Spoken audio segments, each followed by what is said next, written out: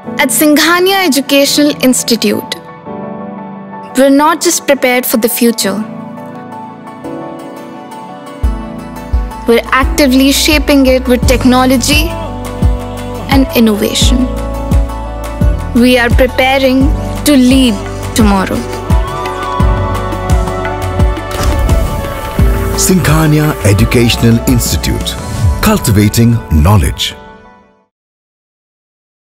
लोकसभा चुनाव से पहले यूपी में ईडी एक बार फिर से एक्शन मोड में आ गई है। यूपी के कानपुर से सपा विधायक इरफान सोलंकी और उनके करीबियों की मुश्किलें बढ़ने लगी हैं।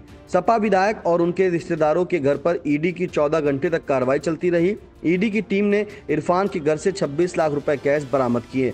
बैंक में साढ़े बारह करोड़ का ब्यौरा मिला, जबकि आयकर रिटर्न में छह लाख की औसत आय दिखाई गई है। वहीं आय से दो सौ बयासी फ़ीसदी अधिक संपत्ति के साथ मिले हैं। प्रवर्तन निदेशालय की टीम ने एक साथ सपा विधायक इरफान सोलंकी, उनके भाई अरसद, बिल्डर हाजी वसी सपा नेत्री नूरी शौकत हाजी अज्जन के घरों में छापेमारी की। ईडी की कार्रवाई देर शाम तक चलती रही। ईडी की team electronic cutter, printing machine और अन्य उपकरण के साथ पहुँची थी। ईडी की तलाशी में 26 लाख कैश और करोड़ों का गोल्ड मिला है। जाँच टीम अपने साथ कई अहम दस्तावेज़ भी ले गई है। ईडी की जाँच में कई चौंकाने वाले बात सामने आई है। इरफान सोलंकी 2016 से 2022 तक विधायक रहने के दौरान उनकी संपत्ति में दो फ़ीसदी का इजाफा हुआ है, जबकि आंकड़े बताते हैं कि उनकी आय में कोई वृद्धि नहीं हुई है। इसके साथ ही इरफान की कई बेनामी संपत्तियाँ सामने आई हैं। बताया जाता है, राजनीतिक प्रभाव और अपराध से कमाई गई ब्लैक मनी को वैध ठहराने के लिए कई फर्जी व्यवसाय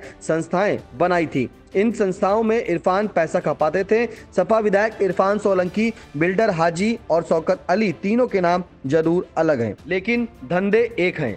हाजी वसी की हमराज कंस्ट्रक्शन कंपनी में इरफान की पत्नी नसीम सोलंकी और चाचा मेराज सोलंकी डायरेक्टर थे। लेकिन नसीम सोलंकी ने 2021 में अपने पद से इस्तीफा दे दिया था। फ़िलहाल इरफान सोलंकी जाजमऊ आगजनी मामले में महाराजगंज जेल में बंद हैं। लोकसभा चुनाव से पहले हुई इस कार्रवाई से यूपी की सियासत में एक बार फिर भूचाल सा आ गया है। बताया जाता है, जाँच के दायरे में कई और लोग भी आ सकते हैं। Bureau report, I India.